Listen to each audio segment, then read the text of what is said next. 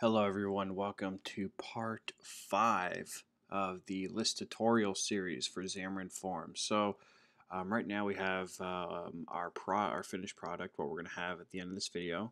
Um, we have this up and running, so we hit this button, add item, and we can see we are now adding items to our list.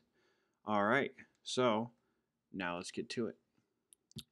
So first thing we got to do is in order to get this right here, this is called a, um, a toolbar.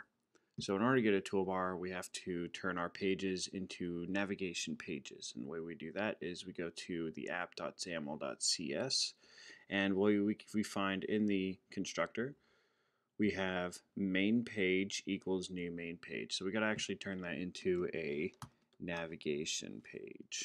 So it's going to be new navigation page and then inside of the navigation page we're going to have new main page. Alright, so now we just wrapped main page into navigation page and we have um, now we can actually start messing around with the toolbar.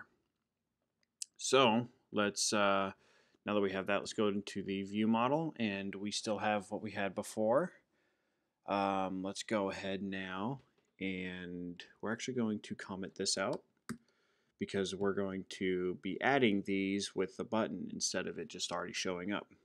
So what we got to do is we have to actually make a command. What are they're called commands, and this is how our button's going to interact with our view model. So we're going to do public i command. You probably don't have it um, from the get-go, so hit uh, Alt enter or um, option enter if you're on Mac. So we're going to do, excuse me, um, command, we're going to do add item command. All right. Now we're going to, it's a property, so we're going to throw in the get and set as well. And then we're going to, we're going to have this command do something. So let's make a function.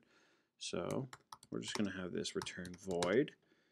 Um, and now we're going to, whenever we hit this function, we want it to add items. So we're going to call this add items. All right. Now in here, we are literally just going to take one of these and we're just going to throw this guy in there. All right.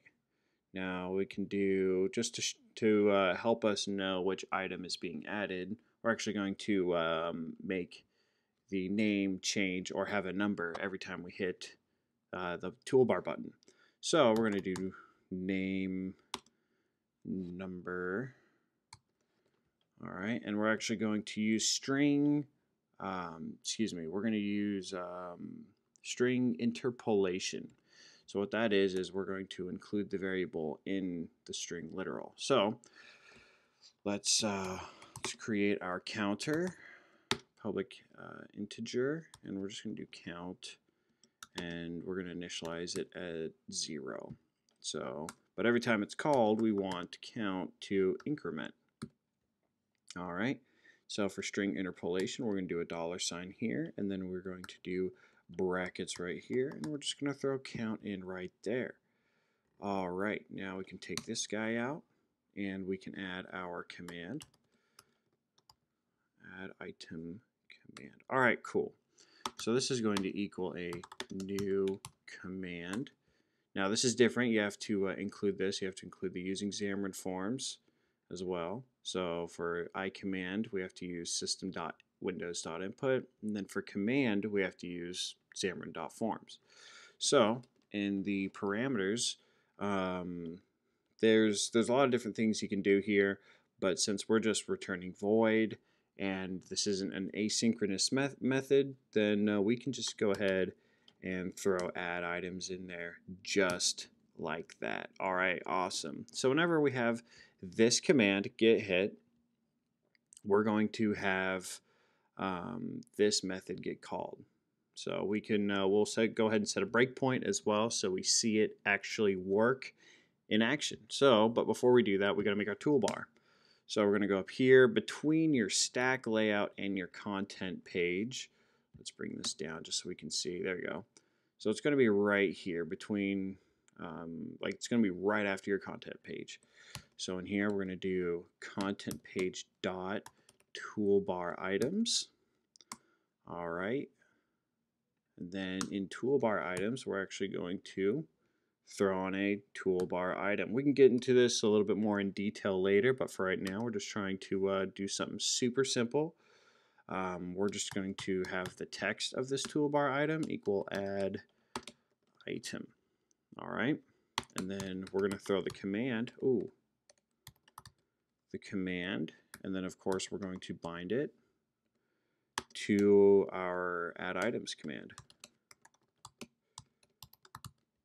All right, does that make sense? So we got our command right here, and um, we are bound to this add items command. So whenever I hit add item, it call it hits the command, and then in the view model, it will hit this right here. And when this command gets hit, this method will be called, and then this will go. So let's go ahead and set a breakpoint here, and we'll set a breakpoint here as well. All right, and uh, before we um, get before we uh, run it, let's go back into our uh, main page.xaml, and we have add items command, which should be add item command.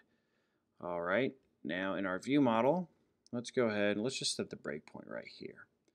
So now we have add items getting ready to go. So we're going to go ahead and start it.